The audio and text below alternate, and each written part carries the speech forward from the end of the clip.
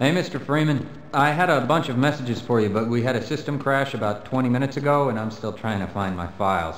Just one of those days, I guess. They were having some problems down in the test chamber, too, but I think that's all straightened out. Get They away from there, sure Freeman. down I'm there as soon as expecting an important message.